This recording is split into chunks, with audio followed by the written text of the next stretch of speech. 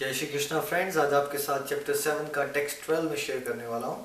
तो श्लोक कुछ ऐसे है। No there all states of being be they of goodness passion और ignorance are manifested by my energy I mean one sense everything but I am independent I am not under the modes of material nature for they on the country are within me आइए अब हिंदी में पढ़ते हैं। तुम जान लो कि मेरी शक्ति द्वारा सारे गुण प्रकट होते हैं, चाहे वह सतोगुण हो, रजोगुण हो तमोगुण हो। एक प्रकार से मैं सब कुछ हूँ, किंतु मैं स्वतंत्र हूँ।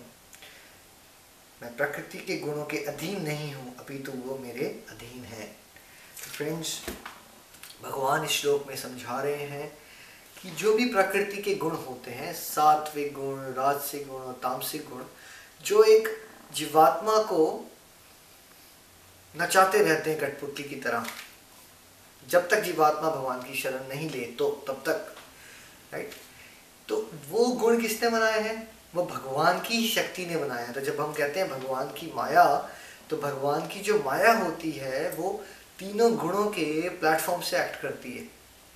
सात्विक राजसिक और तामसिक।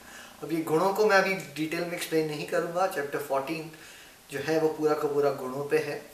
लेकिन इस श्लोक में भगवान ये बता रहे हैं एक्चुअली एक तरह से सब कुछ मैं ही हूँ। एक तरह से भगवान सब कुछ है, लेकिन भगवान इंडिपेंडेंट है, स्वतंत्र है वो। मतलब ये जो माया के गुण हैं, वो हम सबको तो बांधते हैं, लेकिन वो ईश्वर को नहीं बांधते, क्योंकि ईश्वर उसको बनाने वाले हैं और ईश्वर जो है वो निर्गुण है। तो जब भगवान को निर्गुण भी कहा जाता है, उसका ये मतलब होता है कि वो दिव्य है राइट जैसे कि गवर्नमेंट जेल बनाती है तो जेल के अंदर जो कैदी हैं, वो तो कैद हैं। उनको तो प्रिजन लॉज को फॉलो करना पड़ता है।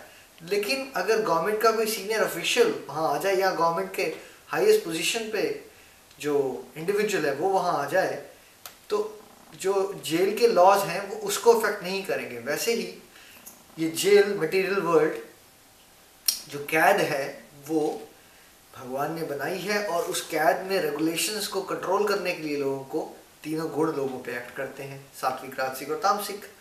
लेकिन वो परमेश्वर पे नहीं एक्ट करते हैं। तो जैसे भगवान अवतार लेते हैं तो अपने अवतारों के थ्रू वो अलग अलग लीला करके यही बात समझा रहे होते हैं। जैसे भगवान कृष्ण के अवतार में उन्होंने सात साल की उम्र में ही एक छोटी सी उंगली पे गोवर्धन पर्वत उठा लिया।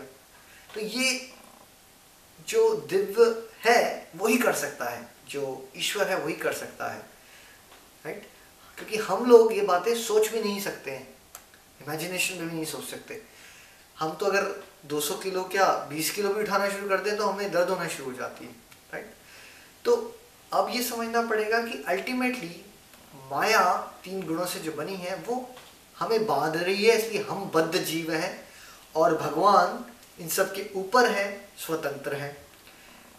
लेकिन अगर हम ऊपर वाले की सेवा करें, भगवान से जुड़े तो हम भी भगवान की तरह मुक्त हो सकते हैं, दिव्य हो सकते हैं। फ्रेंड्स अगले वीडियो मिलते हैं, अगले श्लोक के साथ। जय श्री कृष्ण